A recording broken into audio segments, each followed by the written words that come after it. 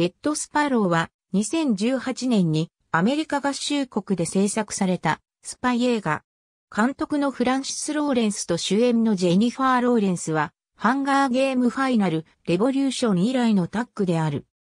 類稀な才能と美貌を備えた、ロシアのバレリーナ、ドミニカは、演技中のパフォーマンスパートナーとの事故により左足を骨折し、バレリーナとしての道を断念する。手術を終えて退院した彼女のもとに、おじのワーニャが現れる。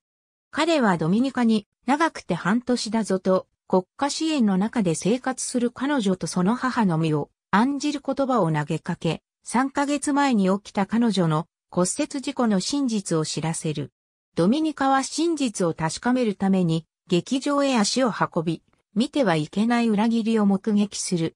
怒りに我を忘れたドミニカは二人の裏切り者を叩きのめすが、政府に勤める叔父の力添えにより罪を免れる。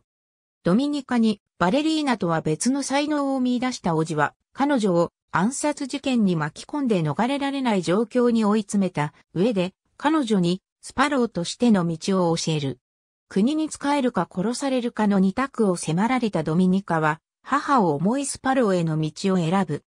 ドミニカが選んだスパローとしての道のりは険しく、国家に仕える娼婦となるための訓練内容は、彼女の羞恥心やプライドを脅かす。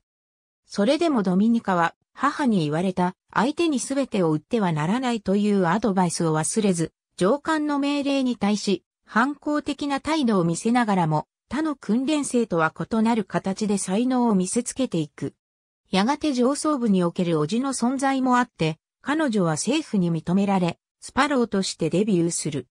カテリーナという新しい ID を与えられ、スパイ活動を開始した彼女は、アメリカ人の CIA 諜報員であるネート・ナッシュを標的とする。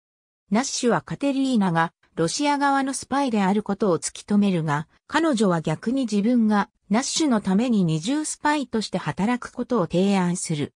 カッコ内は日本語吹き替えこの映画の制作は2017年1月5日にブダペストとドゥナウイバーロシュで始まった。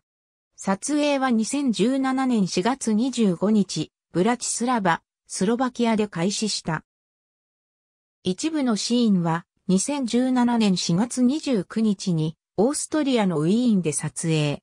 イギリスの劇場公開版ではレーティングを18から15にするため一部シーンの流血表現を修正、カットしたバージョンが使われている。また、日本のソフトも修正版を使用している。ありがとうございます。